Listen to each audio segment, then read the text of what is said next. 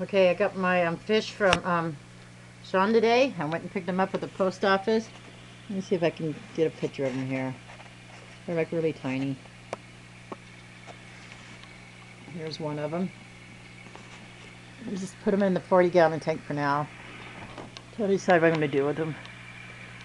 Since they went on a little vacation, I figured this way they'll they'll be able to um, relax and all that stuff. You know, after being in a box, wanting to know why the damn road is bumpy or something. I don't know, but there's one down here at the bottom. Let me see if I come over the side over here. Come you guys smile. Say hi, Chris. I made it.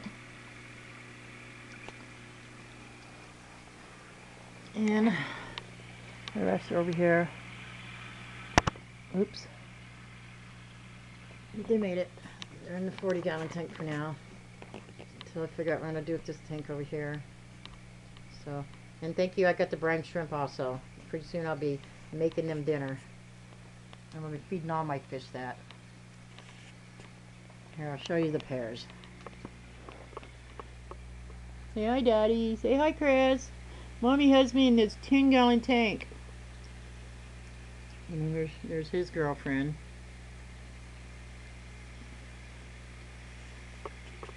He sees the other fish on the other side over there.